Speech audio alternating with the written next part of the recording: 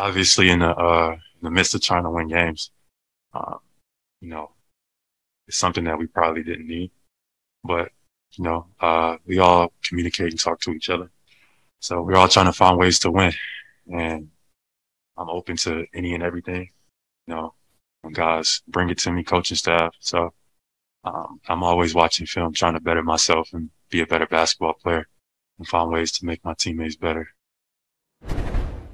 So great players, Jayson Tatum, Jaylen Brown. We heard from Marcus Smart. We heard from Jaylen Brown in the game.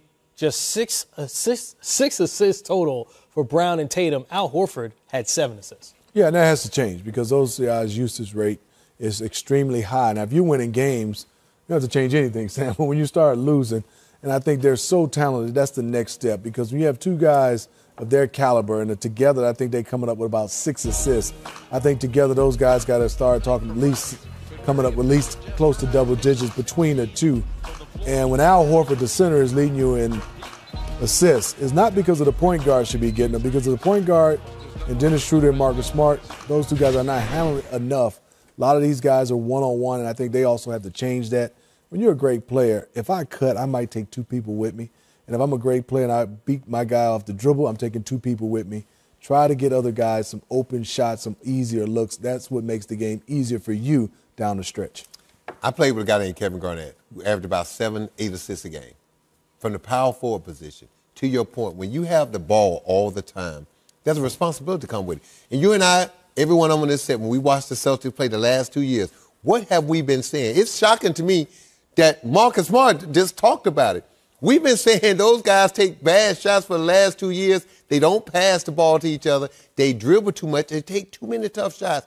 And finally, Marcus Smart has brought it to the attention of those two guys. They had to have known because the thing that's blowing my mind, Brad Stevens ever talked about this?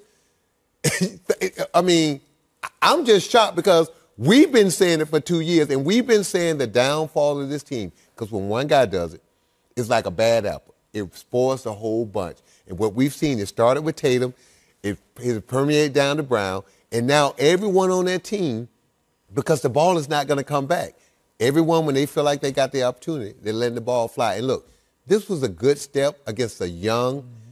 inexperienced Orlando Magic team. But understand something. Teams are not going to change how they're playing you overnight because one game is not going to prove that all those those bad habits that you have, you're not going to get rid of him in one game.